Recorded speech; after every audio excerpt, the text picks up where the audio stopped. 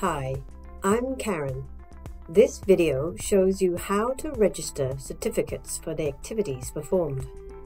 In the next few minutes, I will impersonate an ACP and register certificates using Tessa. Registering certificates does not need any intervention by IPART, except where a pre-registration audit has taken place or where you decide to pay IPART offline. Let's go to Tessa and get started. I'm going to log in as an ACP user. I have already completed my application for accreditation as well as any relevant audits. I have arrived on the Tessa landing page. Tessa stands for the Energy Security Safeguard Application. I have downloaded the sample file from the IPART website and I have looked at the implementation fields that I need to populate. The sample file looks something like this. The activities and calculation methods in your implementation data must match the approved accreditation features. I've completed my implementation file and saved it as a CSV. Let's raise a case to register certificates. My organization name, ID, and my name have been filled in automatically. First, let's select the accreditation type. Then, select your accreditation ID. If you find your accreditation ID missing from this list, it means that there's another case in progress using that accreditation. You will need to go to My Cases, find that certificate registration case, and either cancel or complete that case by paying it. Has there been a pre-registration audit? For now, let's leave this field alone. Type in the vintage. The vintage needs to match your implementation dates. Read through the acknowledgement and click the checkbox. You can decide to pay offline. For now, we'll leave this alone.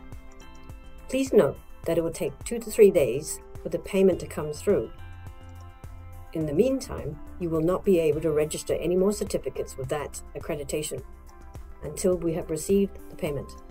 Let's upload our file. Browse and find your file.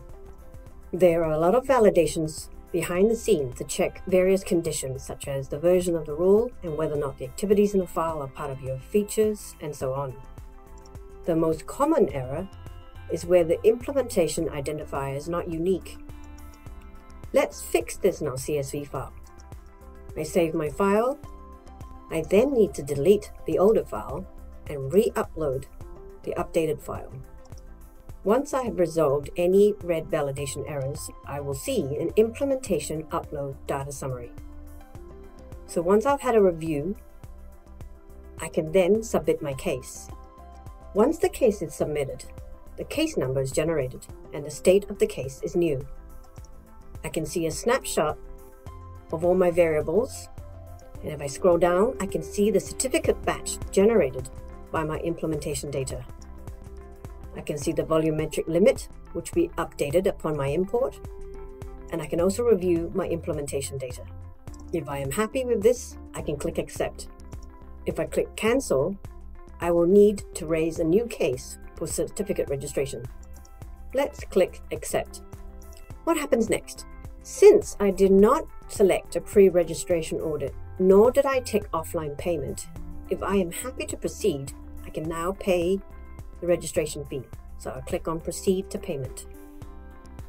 Before that, I can view my invoice. So I can click on that. Depending on your browser, there will be a pop-up for you to then click on and view your invoice, which would look something like this. Let's proceed to payment.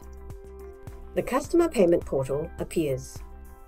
Enter in your payment details and validate the card. You can then click Pay Now. If for any reason you are unable to complete the payment, you can always go back to My Cases, scroll down to the bottom of the case, and click on the Return to CPP Payment button. Let's pay now. Upon successful payment, you will see a verification message. I can click on the Here link to go back to my case. I see that the case date is now complete. The certificates are now visible on the My Certificates widget, as well on the public Registry of Certificates. At any point in time, I can also go back to my cases to view my case. Members of my organization will also receive an email notification confirming the case is complete. Okay, how about scenario 2? What if I do select a pre-registration audit and or an offline payment? Let's raise another case. This time, I'll select a pre-registration audit. Only completed pre-registration audit cases will appear in this list. This time, I will also select offline payment. After I've uploaded my file, I can then submit the case. As before, a case number has been generated and the state is new. I can then proceed to accept the case.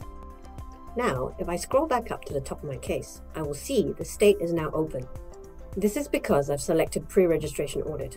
Or if I had selected only offline payment, the state would be payment instead. The case is now awaiting IPART review, and in this scenario, an additional payment verification. Once IPART have approved the pre-registration audit, and in this case, the offline payment, the state becomes complete. And those certificates will now be visible on the My Certificates widget as well as the Public Certificate Registry.